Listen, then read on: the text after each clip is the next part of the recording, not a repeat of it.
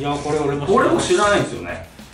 記憶がないですよ。あただあのあんまり強く振るとポキっていくんで。あマジですか？はい。あの優しめでお願いします。これでもファーイーストサマーって書いてあるんですよね。そうなんですよ。なんかもっと小さいのがあったイメージが。そうなんですよ。あれあったじゃないですか。あギロですか？ギロと。僕が覚えてるのは実際にライブで、まあ、これじゃなくてもう少し小さいやつなんですけどこれすごいんですよ。こうシェイカーなんですけどシェイカーなんですけどこうやると。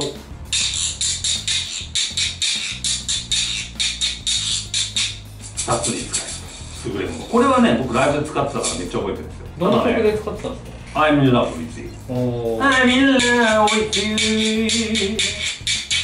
I'm in love with you みたいなね。あった。あった。これね覚えてないですよ。誰か持ってる人います？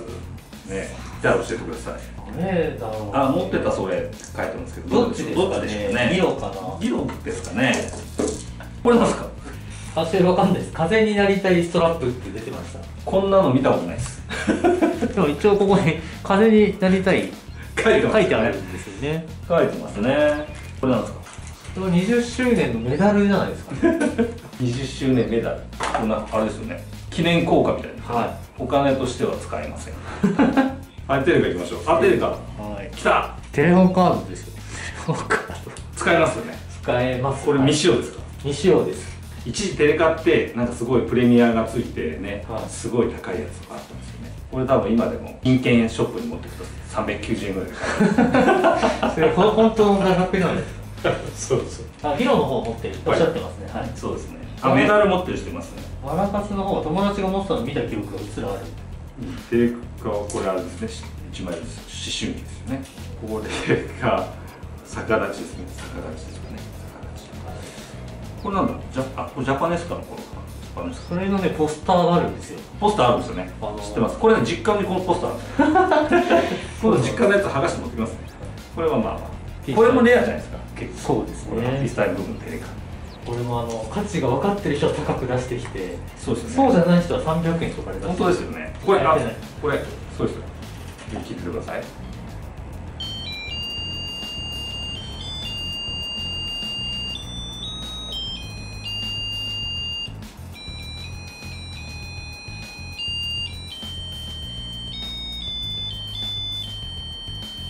ていうね虹が出たのはあのそうです。メリークリスマスって書いてある。クリスマスカードですね。ファンでみんなに配ってたんですかね。ノットフォーセールソニーレコードって書いてます。まあメルカリで買いましたけど。ダメですよ。提供してください。あこれがマニアックですよおちょこ。これちゃんと2人で飲める。二人でおチョコがあるってことはあれですか？酒瓶はないんですけど。じゃあないおチョコしかないこのとっくりのとっくりはない。ないです。これもでも1個ずつ落としたんですけど。1個ずつ落としたんですね。そうです。セットではなく。セットではなく。てすごいですね。これもこれもマニアックですよ。来た。10周年の何ですかこれは。何て言えばいいですか。ストラップでしょストラップですか、はい。10周年。10って書いてあります。あとは何でしょうね。これはねもうその出どころが定かでないんですけどデビューの時にい。怪しいんですか。作ったというファンで作ったみたいなリングもうちょっと字がちっちゃいからもう離さないと一応ですよ一応ザ・ブームって書いてあるん。で見えるかちょっと厳しいかなちょっとザ・ブームってこう彫ってあるんですよね。うんねこれなんですか？それもよくわからないこれちょっとこれなんですかザ・ブーム見たことないピンバッジですね。ピンバッジ。これ記憶ないです。ピンバッジあとはあれじゃないですか。これいつでしたっけね、えーガチャガチャ。ラバイブの頃かな。ラバイブの時のガチャガチャ。ガチャガチャ引いた方いらっしゃいますかね。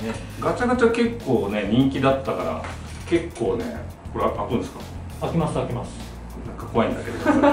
壊しそうな。それはラバイブのキーホルダーですね。キーホルダーこれはラバイブのクリップでいいのかな？これは。こういう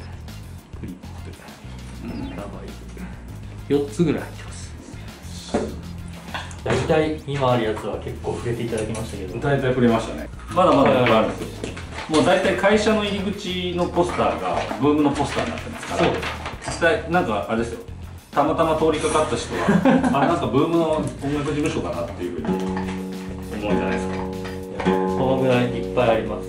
まあね実際に来て、まあ、こういう古い前の昔の雑誌とかこう立ち読みとかしてお茶とか飲みながらね、ね本当はやっぱりね一緒にやれるといいんですけど、うん、まあどうしてもねなんか昔の雑誌とか結構読み読み直すと面白かったりするんでこの騒動が終わっ落ち着いたら実際にここにね四谷の方まで来ていただいてお茶でも飲みながらこう昔の雑誌とかパンフレットとかをゆっくり眺めてもらうのもいいのかななんて思いますけどね。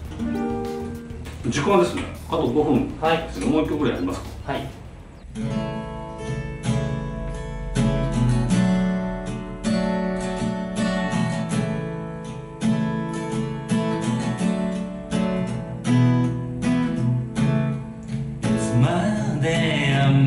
yeah.